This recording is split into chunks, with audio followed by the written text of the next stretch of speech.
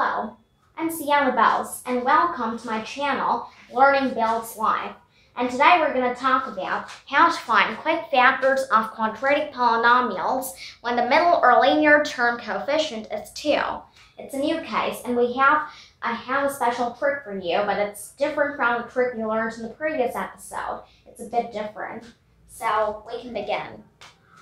In the first polynomial to factorize, we have x squared plus 2x minus 255. In prior, we have all the polynomials with a negative sign of the constant term, so I don't need to repeat that, but we need to focus on the sign in front of the linear or middle term. And well, we have highlighted this 2x because um, we have the new case hence. So this the first thing is saying we need to locate 255 between two consecutive perfect square numbers. So let us find out what they are. The perfect square numbers are 15 squared, 225, less than 255,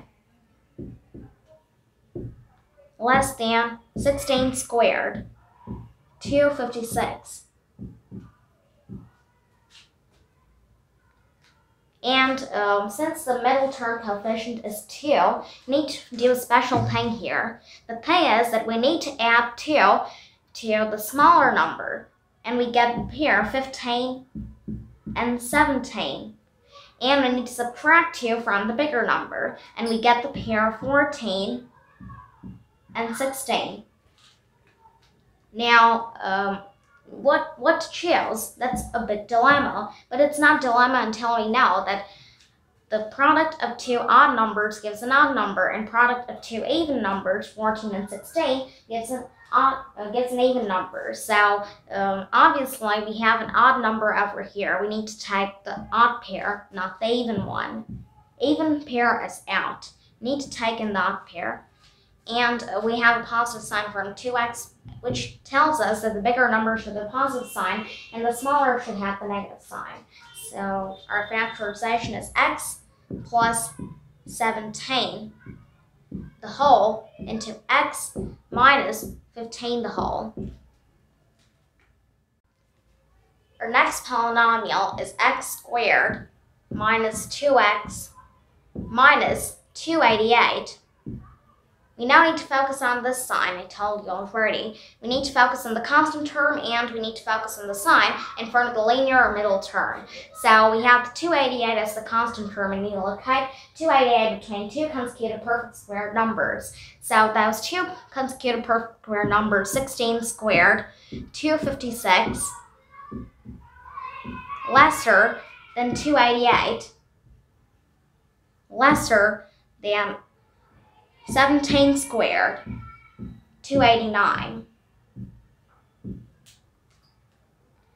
And as in the first case, we have a middle term coefficient that's 2, so we need to add 2 to the smaller number that gives us the pair of 16 and 18. And we need to subtract 2 from the bigger number, which gives us the pair 15 and 17.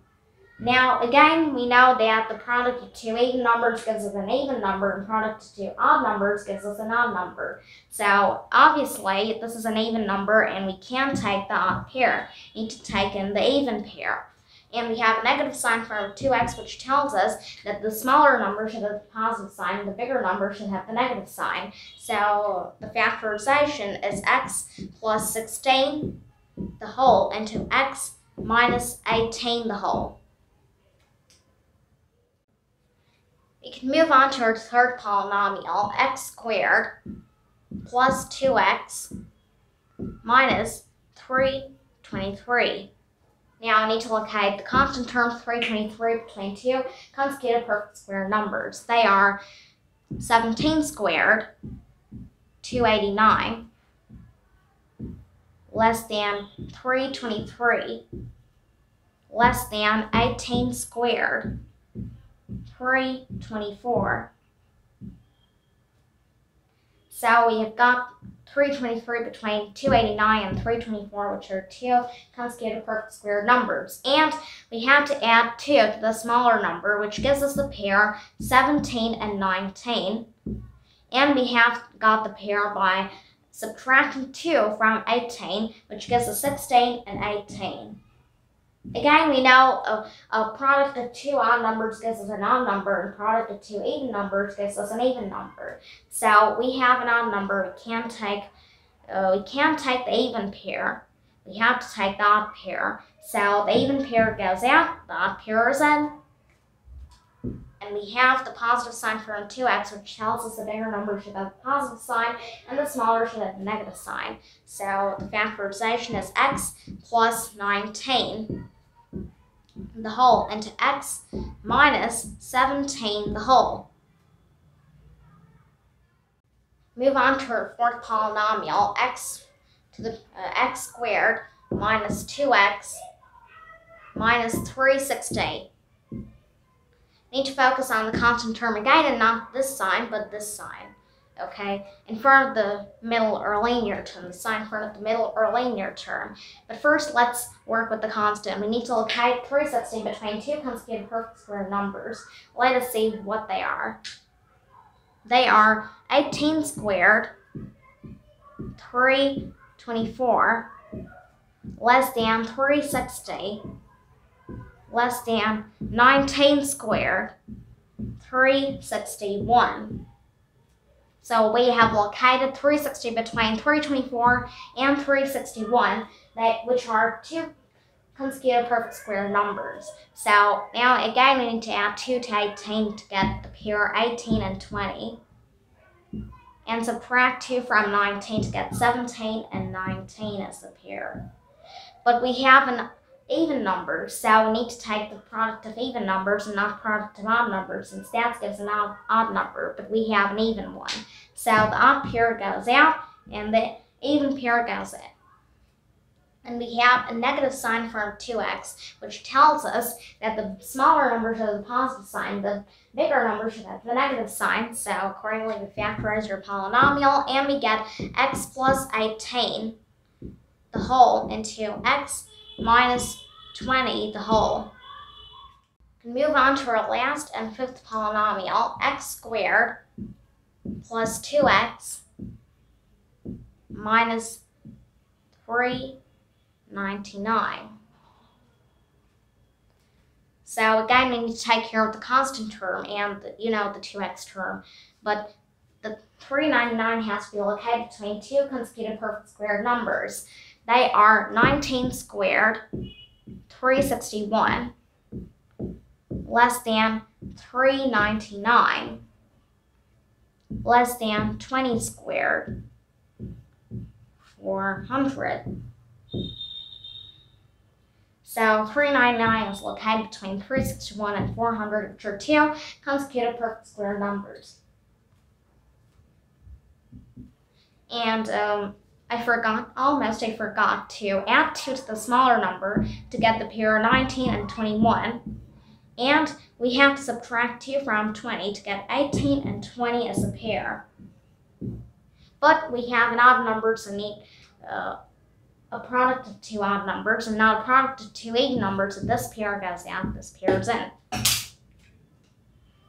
So uh, we need to take 19 and 21 as a pair, and, and we have a positive sign for 2x, which tells us that we need to write the positive sign for the bigger number and the negative sign for the smaller number. So accordingly, factorize, we get x plus 21, the whole into x minus 19 the whole.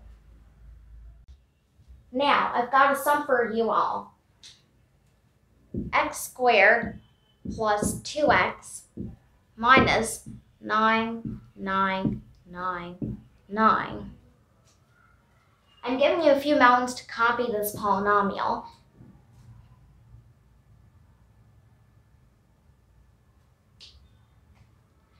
I hope you like this episode, but before we end this episode, I need to talk about this polynomial. This polynomial looks difficult, but it's actually having a trick to do, and I hope you can find the trick. And remember, there is 2. number 2 as the middle term coefficient. Don't forget that and do a mistake. I hope you like this episode. Thank you. Please write your answers to this polynomial in the comment section below, and please like, share, and subscribe my channel. Thank you.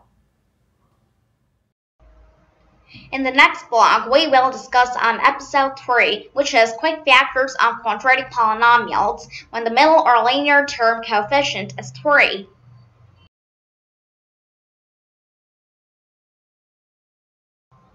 Please subscribe our channel and press the bell button.